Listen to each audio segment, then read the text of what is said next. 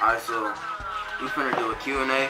We finna answer y'all questions that I sent on my Instagram. My Instagram, if you don't know, it's wavy1k underscore. Wavy1k underscore.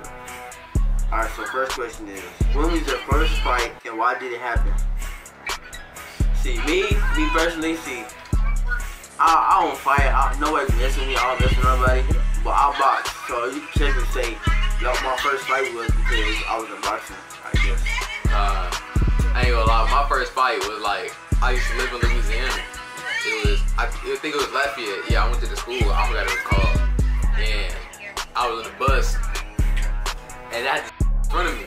So, you know, but me, you know, saying, you know, I'm too nice.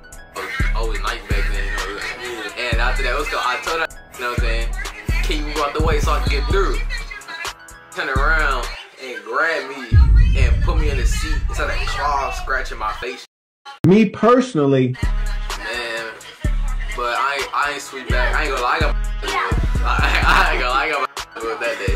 But yeah, but that was my first fight though. I think I was like first grade. I said yeah, at first grade, first grade. But what's the next question? The next question, next Alright, question. so top three artists. Top three, top three, top three. My top three, in my opinion, like not a lot of people might like this, but you know, is X,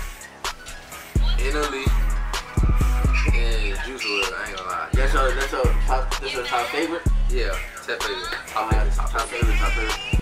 Alright, you know, I mess with, it's really, it's really, it's really more than three, but it's like, you know, I recently just like started listening to Key Glock a little bit, but I, my mains like Lil Baby, Lil Durk. I had, I had a little bit of Rod Wave in.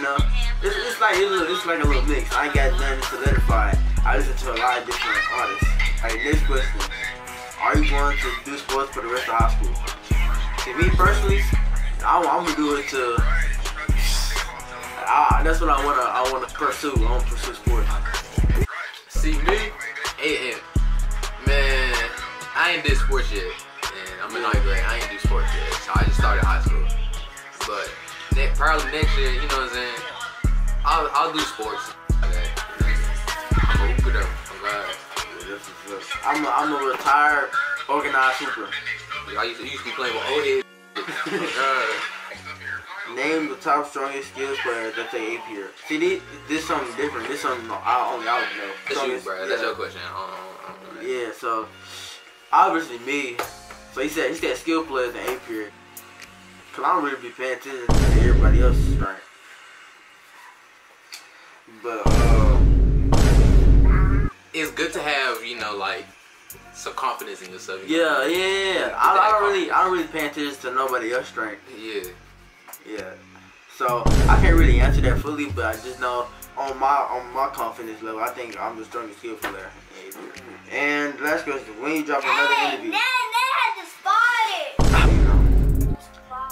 Coming back during school. That's it. I appreciate y'all for the question. You know, you feel me? You feel me? You know, comment, comment your favorite part down below. Like the video and subscribe, and I'll see you in the next one. Alright, peace out.